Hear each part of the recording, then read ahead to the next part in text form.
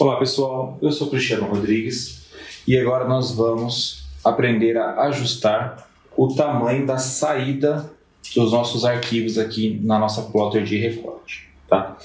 Então, primeiramente, aqui no Corel, nós vamos abrir o nosso plugin.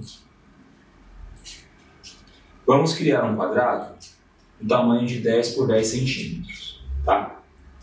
Agora vamos usar a ferramenta aqui de cortar só que na forma plotter, tá? Não corte contorno, sim corte plotter, tá? Clicando aqui, ela vai abrir essa janela para nós, tá? A porta da minha máquina é com sim, tem que trocar aqui. Agora, pessoal, a gente vai clicar em Send.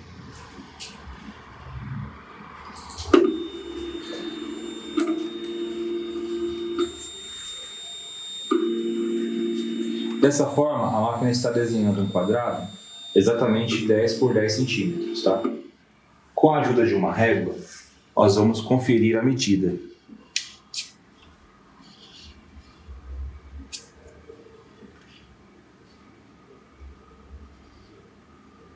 Para fazer o ajuste, caso a medida da sua máquina não esteja correta, o procedimento é bem simples.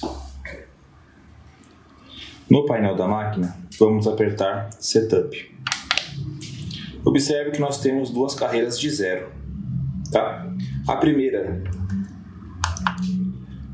de, a primeira de baixo, nós vamos ajustar a, o tamanho na altura através da tecla S mais e S menos.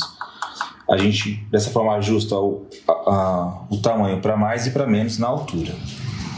E a, os zeros de cima, vai ajustar a largura, P mais e P menos, tá? Para mais e para menos aqui a, a largura, tá?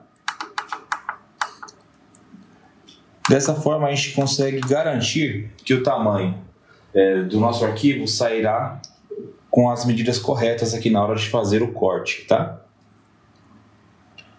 Pessoal, é isso aí. Dessa forma nós conseguimos calibrar a nossa plotter.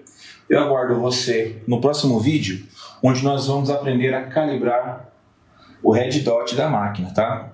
Nada mais é do que ajustar o, o laser da máquina para que ele é, leia corretamente aqui os pontos de origem da máquina.